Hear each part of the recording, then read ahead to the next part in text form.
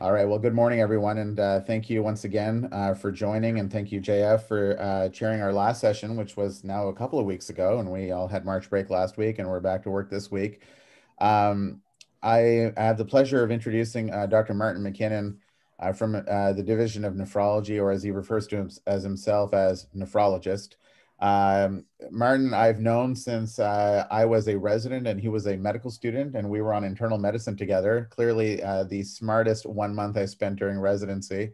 Uh, Martin has since gone on to uh, do uh, big and great things. He uh, finished his internal medicine residency at Dal and then went to University of Ottawa, where he did a fellowship in nephrology, obviously, and came back on staff here and has been here for as long as I've been here, at, at least, uh, if not maybe even longer. Uh, Martin's a great colleague um, as we collaborate uh, greatly, I think, between cardiac surgery and, and nephrology. But increasingly, what we're seeing is that uh, nephrology is um, becoming more and more involved with uh, the care of our patients at the Heart Center as a whole. One of the topics that I thought was really interesting um, is just the role of dialysis, uh, especially in patients with heart failure. Uh, and as, as Martin said in his title, with and without renal insufficiency, um, oftentimes uh, in these sort of cardiorenal patients, uh, you know, your options are limited as far as gaining fluid management, et cetera. And I'll let him speak to that, but uh, I thought this would be a great topic. And Martin, thank you so much for agreeing to do this. So why don't I pass the reins over to you?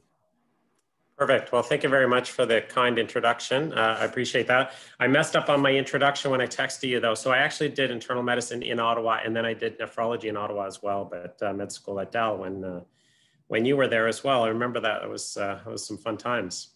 So I did uh, take the liberty of switching up the title, and I hope you don't mind, because really, when we're talking about uh, treatment of heart failure outside of renal insufficiency, and sometimes even with renal insufficiency, what we're really talking about, and I'll make the distinction a little bit later, is ultrafiltration, not so much dialysis. And as I said, um, with and without renal insufficiency, ultrafiltration can be used uh, with both. We often think about dialysis machines and ultrafiltration just in those patients with um, high creatinines or low GFRs, but that's uh, not the case. So uh, my conflicts, basically, I prescribe a lot of furosemide like uh, a lot of the uh, people involved in the Heart Institute do, but I don't own any shares in any company that make any diuretics, unfortunately. Not that I know of. Here's uh, my one slide on heart failure because I'm certainly not going to lecture the, uh, the Heart Institute, the Heart uh, Center, as Ansar says, on heart failure. You guys are very familiar, much more familiar with heart failure than I do, than I am. So certainly you know that it's a constellation of signs and symptoms and not a pathophysiologic diagnosis by itself. And a really simple uh, definition is the inability of the heart to either fill or eject blood um, enough. It's episodic and it progressively worsens. And I think this is crucially important, right? I think we're sometimes maybe on the medicine side a little bit flippant about patients that are presenting with heart failure, but there's progressive worsening over time as evidenced by this um, sort of cartoonish type uh, diagram here and the mortality is very high. It's rivaling, uh, you know, several uh, very severe cancers, and we forget about the mortality that's associated with this this uh, diagnosis, this entity. Pathophysiologically, again, you guys would know a lot more about this than I do. There's lots of reasons why hearts fail. Sometimes there's disease progression issues, uh, things that you guys deal with, with our either uh, right or left uh, ventricular dysfunction valvular dysfunction, sometimes it's a chronicity issue. Um, we see a lot about medication uh, non-adherence. Dr. Simon was just 15 minutes ago talking about medication non-adherence on the CBC. And then dietary indiscretion as well. And sodium and water overload is a, is a major issue. And this is something that I'm much more familiar with in my patient population, particularly the dialysis population, many of whom cannot get rid of sodium in water. So sodium in water is a major issue overload. And the estimate is, is that 90% of greater than 1 million heart failure admissions, acute decompensated heart failure admissions in the United States are actually the result of volume overload. They're not necessarily a progression of disease, not even necessarily an issue with medication non-adherence, this can, although this can play a role obviously, but it's simply more salt and water in than salt and water out. I think it's crucial that we know what we're talking about when we talk about hypervolemia. And I think that this is something that gets lost sometimes. And it's, it's a crude example I use on internal medicine with the internal medicine residents. And I'm sure they're all rolling their eyes if any of them are on the, uh, on the uh, call today, because I use this uh, very often. I describe hypervolemia as, as if you took the unfortunate patient, put them in a blender, ground them up, and piled up their salt and piled up their water. The hypervolemic patient or the patient who's salt and water overloaded has too much salt and too much water.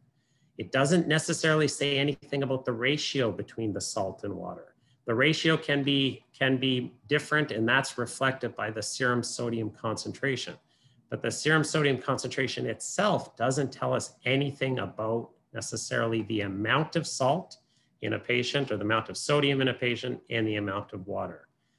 Suffice to say, though, they always have to exist together. And this brings me to my other point that I sometimes think that we get lost on when we have trouble with people repeatedly presenting with salt and water overload or hypervolemia. We concentrate too much on water and too little on salt. We tell people not to drink. We don't tell people not to eat salt, or we don't concentrate enough on this crucial portion of the, uh, of the equation. Your brain tells you when to look for water and when to drink. And we've been evolutionarily programmed and, and um, created over you know, a million years to drink when we're thirsty. Telling people not to drink when they're thirsty is very, very um, uh, difficult. It's not going to happen. We see it all the time in the dialysis patients. What we really need to do is concentrate on keeping them from being thirsty by reducing dietary salt. So when I look at dialysis patients and, and we're looking at uh, weight gains, salt and water weight gains in between dialysis sessions, we really have to address whether they're drinking because they're thirsty or it's because of it's a habit. If it's a habit, it's a little bit more modifiable. Um, you guys know this from probably the heart function clinic, the modifiable habits. But again, if person has a high, high salt diet, telling them to not drink water or to limit their water to less than a liter a day is not very helpful how do we mobilize the salt and water? So this is what we do when people come in and they're, they're congested. We um, go through a process of decongesting, reducing or mobilizing the salt and water, the hypervolemic state. And basically we have pharmacologic and non-pharmacologic approaches. And the pharmacologic approaches, which we're very familiar with, obviously are the diuretics. And I just use an example of our uh, favorite or most often used diuretic, which is furosemide or Lasix. But extracorporeal ultrafiltration, or here's using a dialysis machine, is another option for mobilizing salt and water and definitely has some potential benefits, um, which I'll share with you. Now, when you invite a nephrologist, you know you're going to get a loop of Henle and uh, some uh, talk about the, the kidney. I'm not going to concentrate a lot about this because it's tortured people in medical school, including myself. But just to remind people that we use loop diuretics preferentially because that in the thick ascending limb where they function to inhibit the sodium, potassium, and chloride co-transporter, that is where the majority of the salt is resorbed. So when I'm prescribing Lasix or I'm trying to give uh, people uh, instructions on the use of diuretics, I talk about these not as fluid pills, which is a bit of a misnomer, um, but I talk about them as a, in a bad terminology, get rid of salt pills. They don't allow the kidneys to hold on to salt or sodium. I think that that, that language is crucial. And then I tell people, hey, as you know, water just goes where the salt is. And everyone seems to sort of understand that. So the majority of the salt, 80 to 90% of the sodium is resorbed in the thick ascending limb. Uh, this is where we interrupt using diuretics such as furosemide and some others, which we're less familiar with, but have some potential benefits. It's the distal tubule, the distal convoluted tubule where thiazide diuretics work.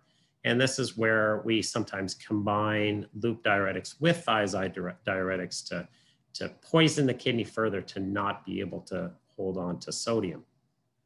Of each of these diuretics, I don't have time to get into them. There's some really interesting um, potential benefits of uh, for instance, uh, torsemide, uh, which is used much more often in Europe, bioavailability differences, half-life differences, onset of action. Um, uh, but we usually use Lasix in, in our uh, institution and, and use and across North America as well. What we don't know, and you'll see variations all across our hospital and all across uh, hospitals in Canada and North America, are changes and differences in dose, whether people use boluses or infusion, PO versus IV, diuretic A versus diuretic B. And I can tell you that there's no real answers here.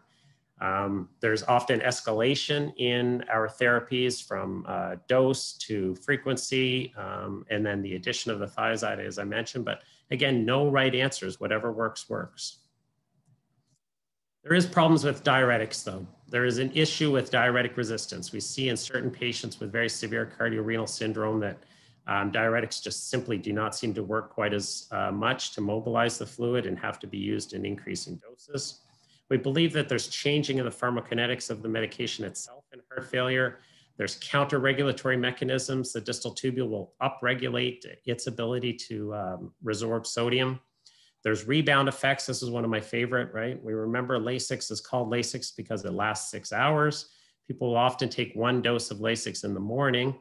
Lasix wears off by the afternoon. They eat their most highly salt uh, laden meal later on at supper time and resorb all of that sodium. And that's been shown repeatedly in these sort of black box, uh, closed box sort of experiments uh, back from the 60s and 70s. There's issues with renal congestion and renal disease as well, although renal disease is probably less of an issue than you may think. The other issue is neurohormonal activation, activation of the renin-angiotensin system and aldosterone system, which may be playing a role too. How do we over, overcome resistance? There's no magic. We use uh, sodium and water restrictions, changing the dose, changing the frequency, adding a second diuretic, using spironolactone, again, whatever works for the given patient. I will point out that if failure to decongest a patient, whether it's, um, you know, our inability in those patients that present with heart failure to reduce the signs of heart failure, the radiologic parameters, or the natriuretic peptides, this is associated with repeated hospitalizations. And it has also been shown that people that back off on the diuretics because of the creatinine bumps, because they're concerned about nephrotoxicity, and if they fail to, to achieve decongestion, it is associated with higher mortality over time and higher um, repeat hospitalizations. So it's crucial when the patients get in uh, with heart failure that we get them to their so-called dry weight. This is where ultrafiltration may play a role. So ultrafiltration is basically the mechanical uh, modality of salt and water removal. It's a distinction from dialysis because in pure ultrafiltration, we're not using any dialysis. We're not using the principle of diffusion um, to reduce, for instance, serum potassium levels. All we're doing is taking blood from the patient with a, with a double lumen catheter, increasing the pressure on the blood supply, on the blood side of the semi-permeable membrane. Oh, shoot. And pushing, um, pushing blood through. Sorry, I thought I was plugged in. I'll just plug this in right quick. I'll, I'll, I'll kick right in. This is good stuff. Sorry about. That's all I have to say. Okay, excellent. Thank you, sir. Um, so we push the, the ultrafiltrate and create an ultrafiltrated salt and water on that side of the uh, semi-permeable membrane, and it goes down the drain. We see um, when we treat patients, and, and I see it every week on the hemo unit, um, when patients present with either mild or moderate um, decompensated heart failure, very rapid improvements of respiratory symptoms. Obviously, I don't measure wedge pressure, cardiac output, but increased improvements very, very quickly We usually take maybe 750 mils a liter off and it gets people feeling much better and, and less hypoxic very quickly. And in patients, you know, um, that we're doing this with, at least with renal insufficiency, these are the easiest patients to dialyze. They rarely have any significant changes in their systemic hemodynamics. Probably their sympathetic nervous system is through the roof as they're suffocating from their pulmonary water. Um, in patients without renal insufficiency, very little in, in um, uh, renal declines are noted when used, uh, when ultrafiltration is used, and I'll, I'll go into that a little bit.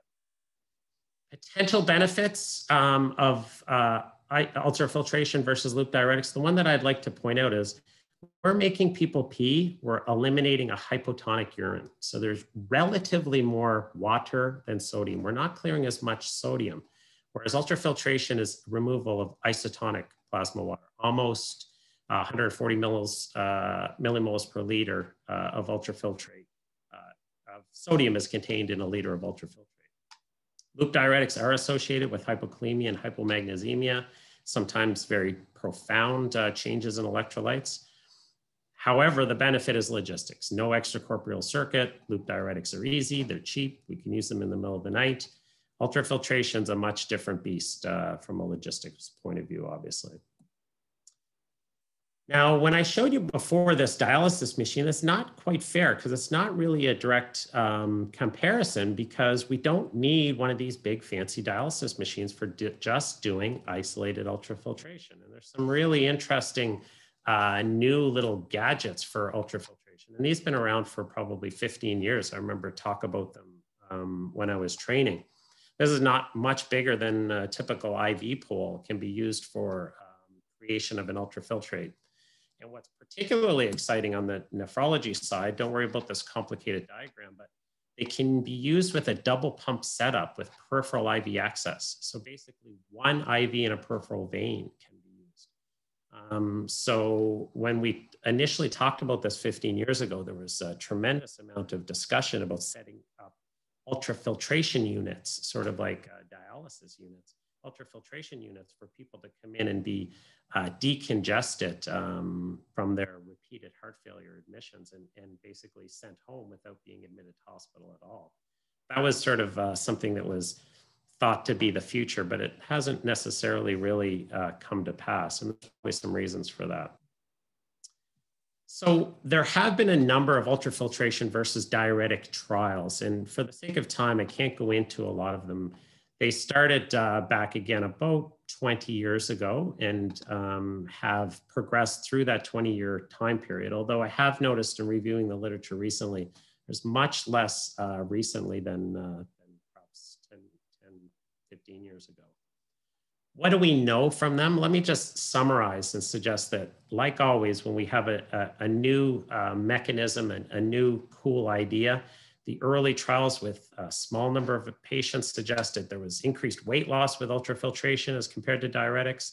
The safety parameters looked really good. There was improved biochemical indices, the sort of natriuretic peptides, and reduced short-term rehospitalizations. Everything looked great, especially when rapid uh, CHF was published um, almost 20 years ago. However, like a very common story, as we go on, we study more, we increase more, uh, we uh, involve more patients, we design better trials. Sometimes we get a little bit diff different uh, outcomes. And this is one example. Probably the, the, the biggest and best studied um, ultrafiltration trial was the CARRESS HF trial, is old now, 2012, published in the New England Journal of Medicine. What they did was they compared UF to stepwise diuretics um, in very aggressive, stepwise, protocolized way of titrating aggressive, of, of titrating diuretics to urine output. There was a lot of issues with crossovers. So people in the UF um, arm often got diuretics either before starting the UF or afterwards at, at the discretion of the physician. So problems there. At 96 hours, which is a fairly long time after their admission, a majority of the patients, interestingly, weren't actually um, decongested. And their measurements for decongestion were things like uh, physical exam, um, issues, peripheral edema, rales, those sort of things. So surprising number of patients that were not decongested uh, fully by 96 hours. Uh, and the ultrafiltration, for some reason, only went on for less than 24 hours. So it, it didn't persist. So people would often decrease the ultrafiltration or dis discontinue the ultrafiltration in this trial and then just start on diuretics. A lot of clotting. People were not familiar with extracorporeal circuits and it's something that um, is crucially important. You have to be familiar with um, how to properly um, utilize blood flow, blood flow rates, sometimes anticoagulation to avoid clotting. There was a lot of clotting in this trial, which put people off. And there was no difference in 60 day outcome of um, either mortality or rehospitalization, more importantly. So, again, short term outcomes, which is a problem with all these trials, but it put people off. And this is uh, sort of a diagram that showed exactly what, uh, what they talked about ultrafiltration this weight gain here on the x-axis, they both, whether it was diuretics or ultrafiltration, lost about 12 to 13 pounds In the ultra, ultrafiltration arm, slightly higher creatinine, but not really that significant. We have a problem with patient selection. We think that probably patients without um, prior diuretics or with de novo heart failure will respond very well to diuretics and don't need ultrafiltration. But perhaps those with persistently low urinary sodiums, post diuretic challenge, so those whose kidneys are still holding on to sodium, um, despite the fact that you're trying to poison them with Lasix, perhaps they could use ultrafiltration. Then there's a lot of debate on the reduced versus preserved LV function, which um, I won't get into today. We struggle in the dialysis unit with having endpoints. We don't know how to get people to their dry weight or what their dry weight is. And that's a major bane of problem, whether it's with ultrafiltration or diuretic therapy. Physical exam, no offense to the cardiologist, at least for volume status in this sort of situation is almost useless. We use hematocrit monitoring somewhat useful to make sure that we don't kill people with the machine. Radiologic testing has been used, but is difficult. Um, the, the peptides maybe play some sort of roles, particularly in patients without renal insufficiency. And then there's so-called bioimpedance that, to measure total body water as well. None of which is the holy grail of, of telling us about volemia. Maybe this is where we're going to go. PA sensors. You guys probably know more about this than I do, but PA sensors to look at uh, subtle changes in, in um, PA artery pressures, which can be acted upon early, either with ultrafiltration or increased diuretic therapy. This has been around for a while. FDA is problematic for some reason. I don't know all the details, but this is obviously the sort of the future of this sort of stuff. I'll give you my two cents um, and then finish up. I think that true diuretic resistance is fairly rare, can usually be overcome. In the hospital, I would suggest it's often overcome by the low sodium diet. And I think that decongestion by diuretics that is associated with progressive creatinine rise is the dialysis stress test. So you can't back off because the creatinine is rising if someone is still congested. If you end up with a creatinine of 800 or 900 after your um, your diuretic attempt, then that is the dialysis stress test right there. What I don't know are the consequences, potential negative consequences of the cowboy diuretic usage, right? So these massive doses and high frequencies. What happens with patients with hypokalemia, hypotension, and severe volume contraction, especially when they go home? And what about the impact of the neurohormonal stimulation, the increase in aldosterone and renin-angiotensin system? These probably have impacts in the long term of which we don't Final thoughts, it's been difficult to definitively prove a significant benefit of UF uh, versus traditional diuretic strategies. And the UF logistics are daunting and diuretics are cheap.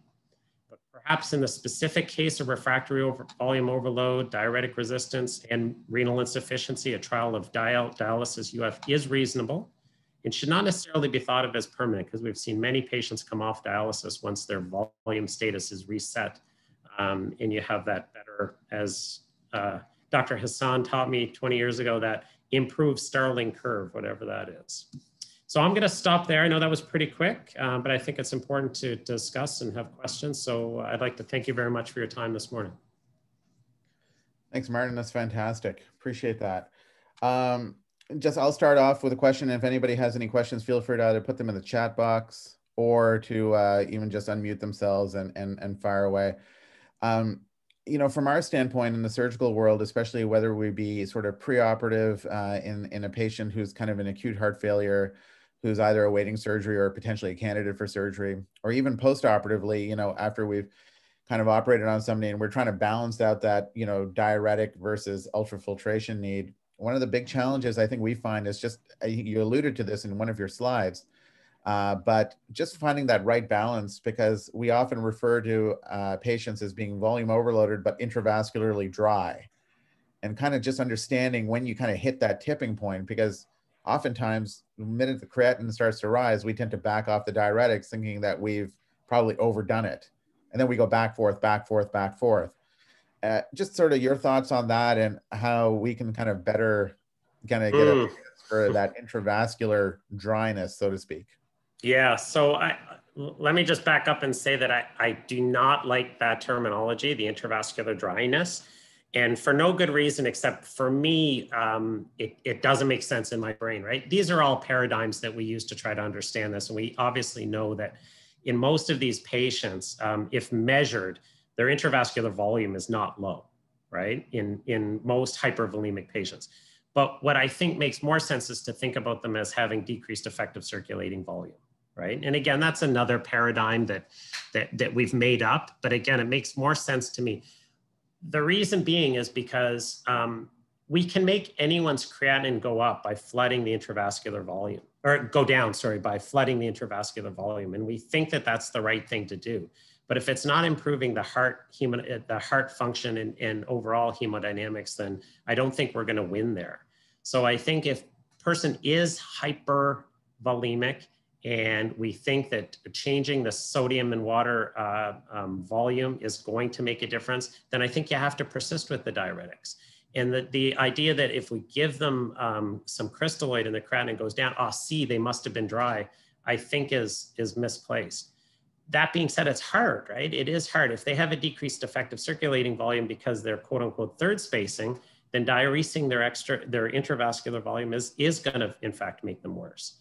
So it's a super, super tough balance. And, and I don't have any fantastic answers for that one for sure. No, that's great. Uh, Jeff had a question uh, about what he, what you thought the ideal patient would be for ultrafiltration, um, you know, and what should we do prior to asking? How do we sort of set that up?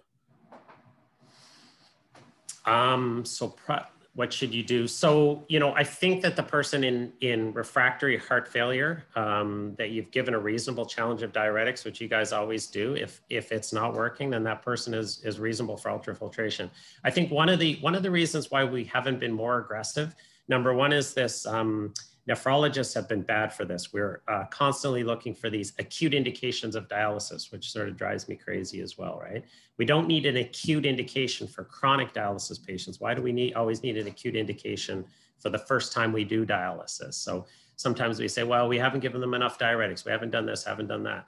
Um, and the historical basis of that is we thought that dialysis um, or ultrafiltration was going to be particularly harmful. And I think that that harmfulness part of it has been overplayed um, the thought that they're not going to recover their renal function, that we're going to worsen renal function. That doesn't appear to be the case. So I think we could afford to be more uh, aggressive with ultrafiltration in patients that are refractory. And I think that leaving patients salt and water overloaded for too long um, has significant detrimental effects in itself and has been shown, at least epidemiologically, um, in acutely ill patients uh, that that is the case. So. Uh, with respect to preparation, I, I'm not sure I have any great suggestions there? I mean, you guys all you guys use diuretics. Um, you try to mobilize fluid from the extravascular space sometimes, whether it's with albumin or or squeezing the legs, things like that, um, which can be helpful. Um, yeah. Okay. Um, Peter asked if hypernatremia was a theoretical risk of ultrafiltration. I have one last question after that. Yeah, so it's not. It's a it's a good question. There's been it's been shown we can um, uh, dialyze people. So we can change the sodium concentration in uh, if we're doing dialysis, which is most often what we would do. We'd often run dialysis, even though I talk about ultra, isolated ultrafiltration. We we often will run dialysate, so we can increase the dialysate concentration to avoid shifting of the of the sodium too significantly, and we can often dialyze um, with gradients of 10 to 15 without major changes in um, cerebral edema and things like that. And then what about CRRT and uh, you know versus ultrafiltration? Has ultrafiltration, this is Sharif asking, uh, been replaced by CRRT for the critically ill? So again, we're, we're CRT is just continue a continuous therapy. So we can do continuous ultrafiltration, just like we can do continuous dialysis and ultrafiltration, or we can just do continuous dialysis. It's continuous dialysis or continuous ultrafiltration is called SCUF um, slow continuous ultrafiltration. Most of our patients have renal insufficiency. So most of them are dialyzing at the same time. We're believing that maybe uremic toxemia and things like that need to be dealt with.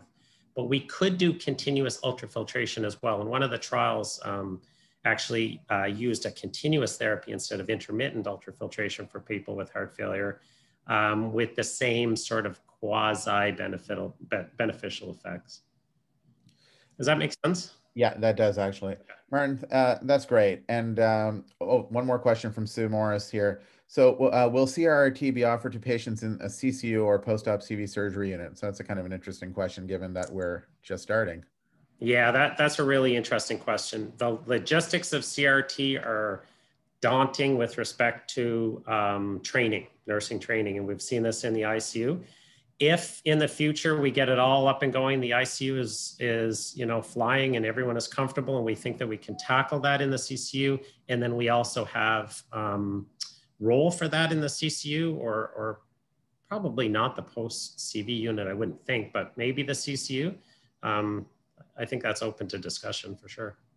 I think there's no doubt. I mean, this is a this is a population that's growing. Uh, as far as we're concerned, we're seeing more and more people in whom we kind of manage that tenuous cardiorenal balance, and uh, and I mean, obviously, you know, we're we're you know, we have differential kind of thresholds for diuretics amongst physicians between cardiologists and cardiac surgeons.